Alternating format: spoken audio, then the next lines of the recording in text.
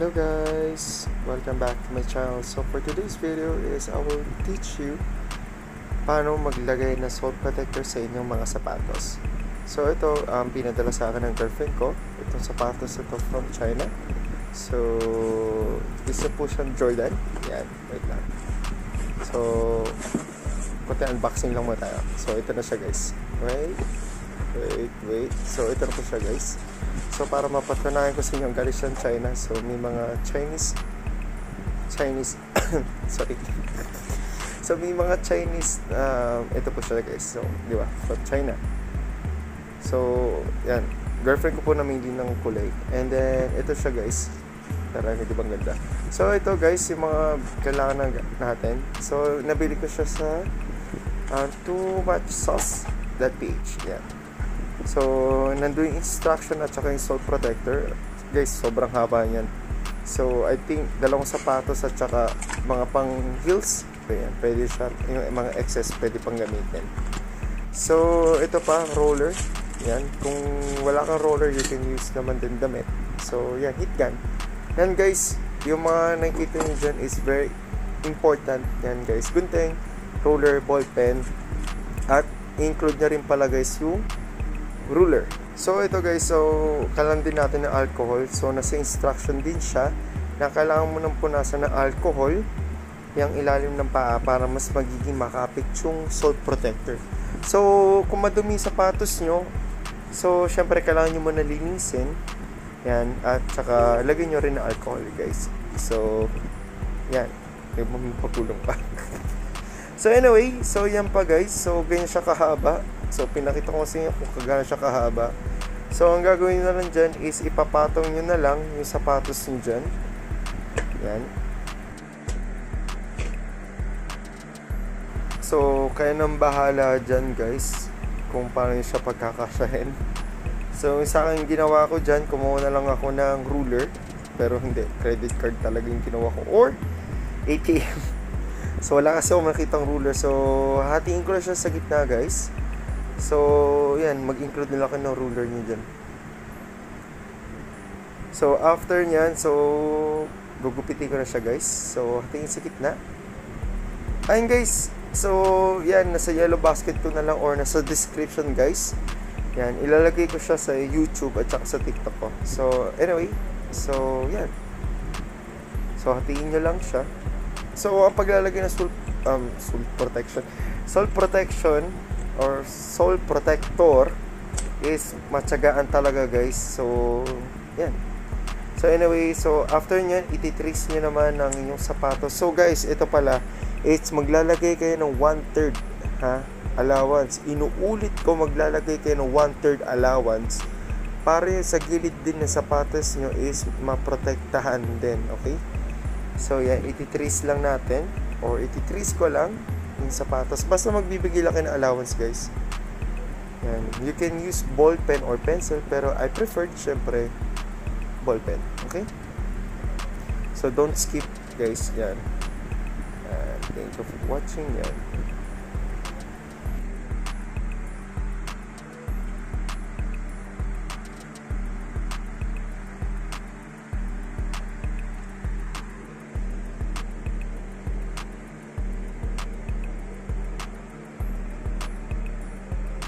Yan guys, kung hindi ka pa nakasubscribe sa aking channel, baka naman.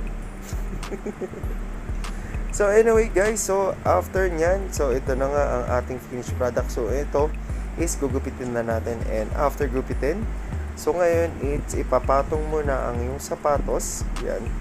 So inuulit ko guys at wala akong kahit makulitan kayo guys sa akin. So in, inuulit ko lalagyan nyo siya ng allowance na one-third. Inuulit ko lalagyan nyo ng allowance na one-third para hindi kayo magsisisi sa huli. At saka syempre para maprotektahan na rin na gilid ng sapatos din. So yan guys, so opening na tayo, unboxing na tayo ng heat gun. So sa heat gun, kung wala namang heat gun, you can use naman kandila. Pero caution lang guys, baka kasi madamage yung sapatos nyo. So I preferred na bumili na rin kayo ng heat gun. Yan mo. Nasa yellow box na rin kung magkano yan. At saka roller guys. Kung wala nga kayong roller, uh, medyo namamahalang kayo, you can use naman din na damit na nasa labahan or basahan.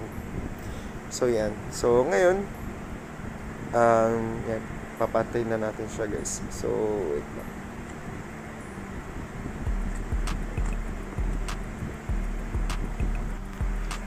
So, yun na nga guys, medyo nahirapan ako. So, hiniga ako ni sapatos ko. So, ngayon, um, i, yan, ipapatong nyo muna siya guys. Yan. At it nga yung sinasabi ko sa inyo, inuulit ko sa inyo dapat may one-third allowance yan sa gilid. So, yan, di ba? Okay. So, ngayon, after nito, yan, sensya na guys ha. Ang hirap kasi, malit lang yung stand ko. So, anyway, so, yan na nga. Um, ilalatag nyo siya na maigi. Tapos, ang ginawa ko dito, is gagamitan natin siya ng roller para medyo may kumapit lang yung adhesive niya. So, yan. Starter natin yan. So, ni-roller ko siya dyan.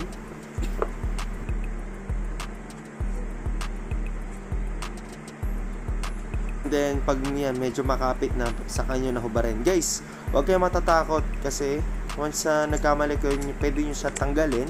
Tapos, i, um, isentro nyo siya sa tamang ano, guhit or basta kayo na bahala. Basta pwede hindi naman siya agad natatanggal. Ay, I mean, nadidikit. So, kailangan nyo talaga dyan na hit yan para kumapit ng big time. So, yun na nga guys. Inuulit ko then sa inyo caution. 4 to 6 inches ang layo ang distance niya guys. 4 to 6 inches ang layo. At saka basahin yung manual guys. Inuulit ko basahin yung manual baka magkos ng sunog o di sumabog yung hit gun sa kamay nyo so mahirap na. So ngayon, kung wala nga kayo no roller, pwede kayo gumamit ng gamit, gamit na damit or basahan kung wala kayong roller. So yan, inuulit-ulit ko lang yung process. Yan. Inuulit ko guys, inuulit ko sa inyo guys, huwag nyo susubukan, i-hit gun yung balat ko kasi mainit talaga siya guys, kapaso ako. anyway, so yan. So ginawa ko dyan, medyo dinikit ko na siya ng 1 inch. Kasi nababagalan ako sa process. Pero caution lang guys. So kasi sa una kong gawa is nagkaroon ng bubbles. So see it lang guys na iingatan nyo rin sapatos yung ma-damage gamit ng gun. So nakikita nyo guys yung medyo naging darken so it means yung lumambot na yung product or yung sole protector so yan na yan guys yung finishing product natin so papakita ko sa inyo before and after yan So, tada! So, pinutol ko na siya guys. So, ito, ikakat ko yung video. Kasi, kain oras eh. Sobrang tagal. So, ngayon guys, bumili din ako ng sole. Oh, hindi. Um, toe protector pala. Ang tawag dyan is toe, toe protector. So, para hindi siya mayupi guys. Yan. So, hindi siya malukot. Yan. So, maganda rin siya. Uh, yan, protected din sa yung toe. So, lahat ng items na ginamit ko dito is nasa yellow basket ko lang. Yan, kung sa TikTok, sa yellow basket. And kung sa YouTube, it's nasa description ko lang guys. So anyway guys, yan ito ang ating finished product and I hope nag-enjoy kayo at may natutunan kayong bago ulit sa akin. And please don't forget to like at magbasa ng manual. Like and subscribe. Huwag nyo kakalimutan guys. So at maraming salamat at sa susunod na video ulit. Maraming salamat. Bye!